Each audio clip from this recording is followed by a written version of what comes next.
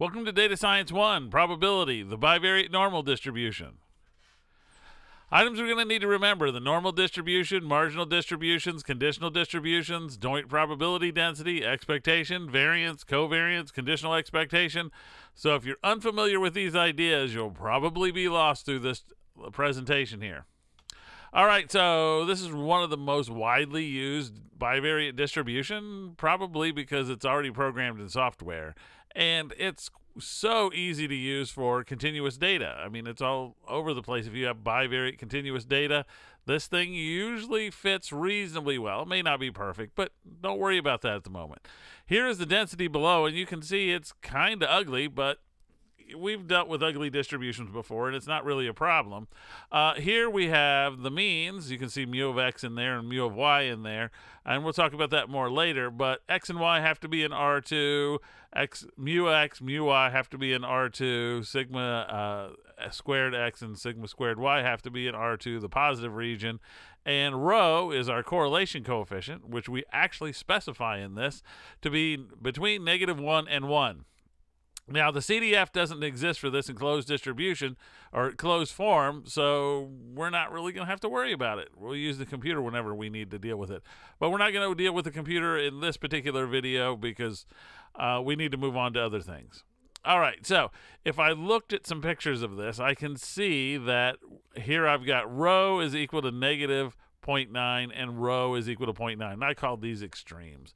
But what I'm trying to show you is when it's positive, it's going from uh, in a positive direction, meaning lower values are associated with lower ones, and then it has a what would I would consider a positive slope if you were to put a line through this. Same thing with the negative one. It has a negative slope. And you can see that there's kind of a ridge formed here. It's very concentrated around this particular line that cuts through here, the y equals x line. And this is the line y equals negative x, and you can see it's quite concentrated around there.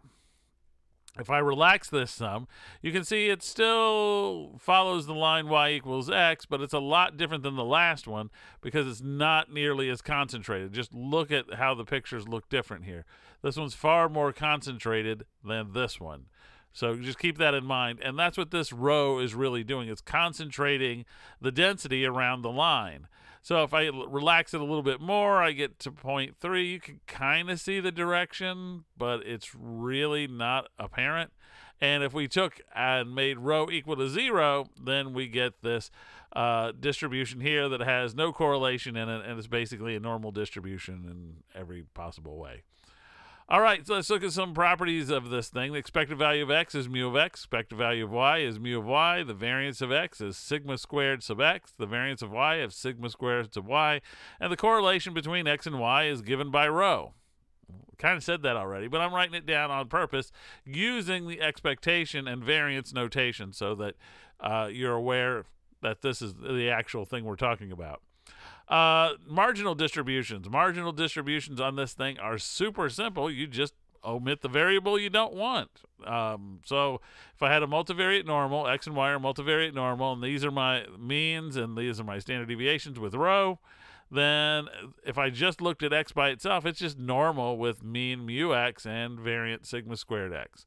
And if I look at y by itself, it's just normal with mu uh, y as its mean and sigma squared y as its variance don't really need to do any other work. You already have all the information there, and that makes that really nice. Now let's look at the conditional distributions. Um, suppose we have x and y follow multivariate normal just like before. Then we want to look at what is uh, x given y and what is y given x. Uh, so here you can see how the densities do. You do have to do a little bit of work on this and it's not at all apparent that this would be the right thing to do. But when we get to the next slide, you'll you'll see that it's a, a little bit better to look at. But notice how the mean is shifted based off how far y is from its mean. So I have the mean of x, but I'm going to move it depending on how much uh, y is away from its mean. And this here controls how much it's moving okay? And this one kind of be a little bit easier to look at because we have y equals x and people like lines that y equals x kind of lines. So here we've got um, you know, mu of y, and then we're going to shift it by how much x differs from its mean. And this is the slope of how much we're shifting it okay? And you can see it's a slope in the sense that we have a uh, the spread of y over the spread in x.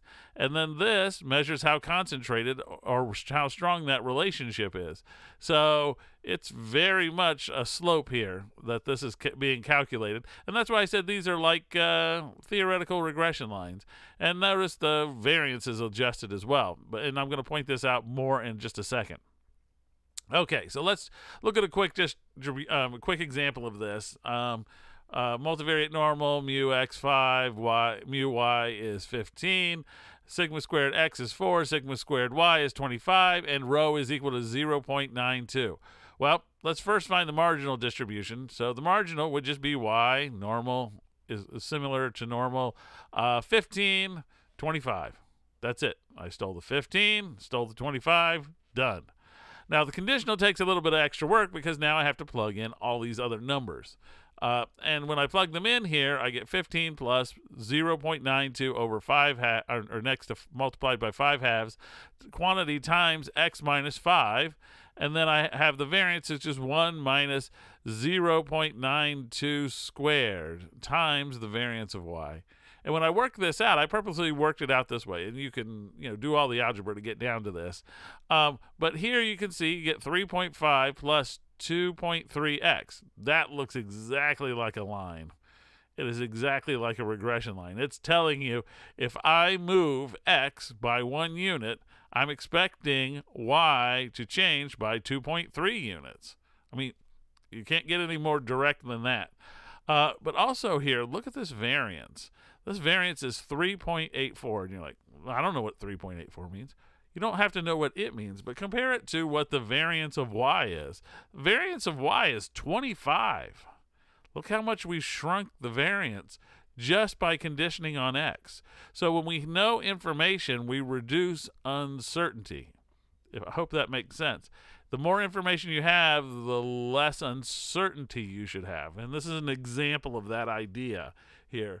Uh, and remember, we're using conditional probability. We've shrank the whole space down, so we should have less uh, uncertainty than we did before, and variance is sort of a measure of uncertainty.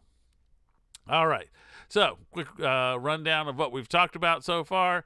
We have the bivariate normal, great for two continuous variables. Uh, there is a standard normal version of this thing. So you can apply these transformations just like you did before, and you'll end up with a distribution with means of zero and uh, variances of ones, and rho still stays with rho. Um, conditioning on the other variable really can help you reduce variance. So if you have more information, uh, that's good to try to put that in there. Uh, marginal distributions on this thing are really easy. Now, there is a multivariate normal distribution for higher dimensions, okay? Uh, but it requires matrix notation, and we're going to leave it out at this time.